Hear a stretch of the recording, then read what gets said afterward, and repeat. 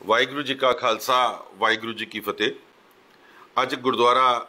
ਸੀਸਗੰਜ ਸਾਹਿਬ ਦੀ ਜਿਸ ਵਕਤ ਗੋਲਕ ਖੋਲੀ ਗਈ, ਉਹਦੇ ਵਿੱਚੋਂ ਕਿਸੇ ਸੱਜਣ ਪ੍ਰੇਮੀਆਂ ਵੱਲੋਂ ਗੁਰਦੁਆਰਾ ਸਾਹਿਬ ਗੁਰੂ ਦੇ ਨੂੰ ਅਰਪਿਤ ਹੋ ਕੇ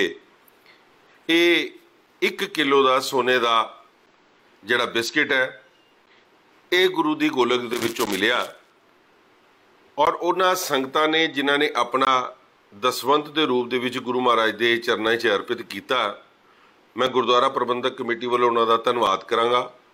ਕਿ ਜੋ ਤੁਸੀਂ ਪ੍ਰਬੰਧਕਾਂ ਦੇ ਉੱਤੇ ਵਿਸ਼ਵਾਸ ਰੱਖਦੇ ਹੋਏ ਕਿ ਤੁਹਾਡਾ ਪੈਸਾ ਠੀਕ ਜਗ੍ਹਾ ਤੇ ਲੱਗਦਾ ਹੈ, ਤੁਹਾਡਾ ਦਿੱਤਾ ਹੋਇਆ ਦਸਵੰਤ ਗੁਰੂ ਦੇ ਕਾਰਜਾਂ ਦੇ ਵਿੱਚ ਲੱਗ ਰਿਹਾ, ਇਹ ਵਿਸ਼ਵਾਸ ਤੁਸੀਂ ਗੁਰਦੁਆਰਾ ਪ੍ਰਬੰਧਕ ਕਮੇਟੀ ਦੇ ਉੱਤੇ ਰੱਖਦੇ ਹੋਏ ਗੁਰੂ ਚਰਨਾਂ 'ਚ ਜਿਹੜਾ ਅਰਪਿਤ ਕੀਤਾ ਮੈਂ ਉਹਨਾਂ ਪਰਿਵਾਰ ਦਾ, ਉਸ ਪਰਿਵਾਰ ਦਾ ਬਹੁਤ-ਬਹੁਤ ਧੰਨਵਾਦ ਕਰਦਾ। ਸੰਗਤਾਂ ਦਾ ਧੰਨਵਾਦ ਕਰਦਾ ਕਿ ਜੋ ਵਿਸ਼ਵਾਸ ਤੁਸੀਂ ਇਸ ਕਮੇਟੀ ਦੇ ਉੱਤੇ ਰੱਖਿਆ ਔਰ ਤੁਹਾਡੇ ਕਰਕੇ ਜਿਹੜੇ ਕਾਰਜ ਚੱਲ ਰਹੇ ਹੈ ਜਿੱਥੇ ਵੱਖ-ਵੱਖ ਕਾਰ ਸੇਵਾਵਾਂ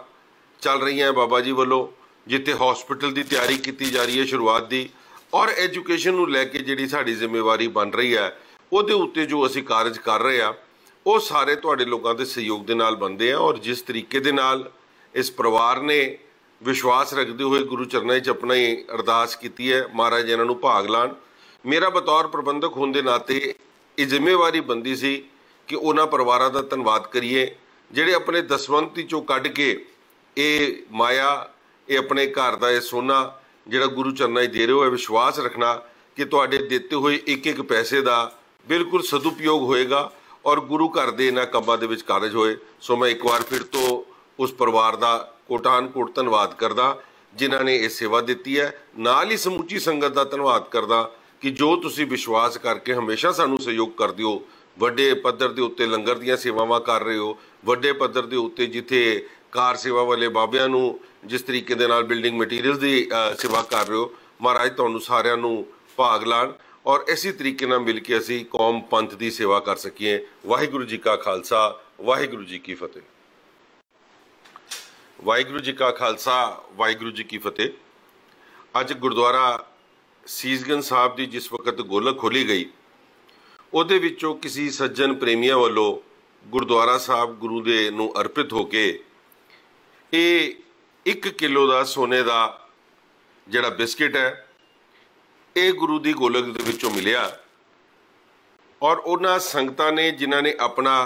ਦਸਵੰਤ ਦੇ ਰੂਪ ਦੇ ਵਿੱਚ ਗੁਰੂ ਮਹਾਰਾਜ ਦੇ ਚਰਨਾਂ 'ਚ ਅਰਪਿਤ ਕੀਤਾ, ਮੈਂ ਗੁਰਦੁਆਰਾ ਪ੍ਰਬੰਧਕ ਕਮੇਟੀ ਵੱਲੋਂ ਉਹਨਾਂ ਦਾ ਧੰਨਵਾਦ ਕਰਾਂਗਾ ਕਿ ਜੋ ਤੁਸੀਂ ਪ੍ਰਬੰਧਕਾਂ ਦੇ ਉੱਤੇ ਵਿਸ਼ਵਾਸ ਰੱਖਦੇ ਹੋਏ ਕਿ ਤੁਹਾਡਾ ਪੈਸਾ ਠੀਕ ਜਗ੍ਹਾ ਤੇ ਲੱਗਦਾ ਹੈ, ਤੁਹਾਡਾ ਦਿੱਤਾ ਹੋਇਆ ਦਸਵੰਤ ਗੁਰੂ ਦੇ ਕਾਰਜਾਂ ਦੇ ਵਿੱਚ ਲੱਗ ਰਿਹਾ। ਇਹ ਵਿਸ਼ਵਾਸ ਤੁਸੀਂ ਗੁਰਦੁਆਰਾ ਪ੍ਰਬੰਧਕ ਕਮੇਟੀ ਦੇ ਉੱਤੇ ਰੱਖਦੇ ਹੋਏ ਗੁਰੂ ਚਰਨਾਂ 'ਚ ਜਿਹੜਾ ਅਰਪਿਤ ਕੀਤਾ ਮੈਂ ਉਹਨਾਂ ਪਰਿਵਾਰ ਦਾ, ਉਸ ਪਰਿਵਾਰ ਦਾ ਬਹੁਤ-ਬਹੁਤ ਧੰਨਵਾਦ ਕਰਦਾ। ਸੰਗਤਾਂ ਦਾ ਧੰਨਵਾਦ ਕਰਦਾ ਕਿ ਜੋ ਵਿਸ਼ਵਾਸ ਤੁਸੀਂ ਇਸ ਕਮੇਟੀ ਦੇ ਉੱਤੇ ਰੱਖਿਆ ਔਰ ਤੁਹਾਡੇ ਕਰਕੇ ਜਿਹੜੇ ਕਾਰਜ ਚੱਲ ਰਹੇ ਹੈ, ਜਿੱਥੇ ਵੱਖ-ਵੱਖ ਕਾਰ ਸੇਵਾਵਾਂ ਚੱਲ ਰਹੀਆਂ ਬਾਬਾ ਜੀ ਵੱਲੋਂ, ਜਿੱਥੇ ਹਸਪੀਟਲ ਦੀ ਤਿਆਰੀ ਕੀਤੀ ਜਾ ਰਹੀ ਹੈ ਸ਼ੁਰੂਆਤ ਦੀ ਔਰ ਐਜੂਕੇਸ਼ਨ ਨੂੰ ਲੈ ਕੇ ਜਿਹੜੀ ਸਾਡੀ ਜ਼ਿੰਮੇਵਾਰੀ ਬਣ ਰਹੀ ਹੈ, ਉਹਦੇ ਉੱਤੇ ਜੋ ਅਸੀਂ ਕਾਰਜ ਕਰ ਰਹੇ ਆ ਉਹ ਸਾਰੇ ਤੁਹਾਡੇ ਲੋਕਾਂ ਦੇ ਸਹਿਯੋਗ ਦੇ ਨਾਲ ਬੰਦੇ ਆ ਔਰ ਜਿਸ ਤਰੀਕੇ ਦੇ ਨਾਲ ਇਸ ਪਰਿਵਾਰ ਨੇ ਵਿਸ਼ਵਾਸ ਰੱਖਦੇ ਹੋਏ ਗੁਰੂ ਚਰਨਾਂ 'ਚ ਆਪਣਾ ਹੀ ਅਰਦਾਸ ਕੀਤੀ ਹੈ, ਮਹਾਰਾਜ ਇਹਨਾਂ ਨੂੰ ਭਾਗ ਲਾਣ।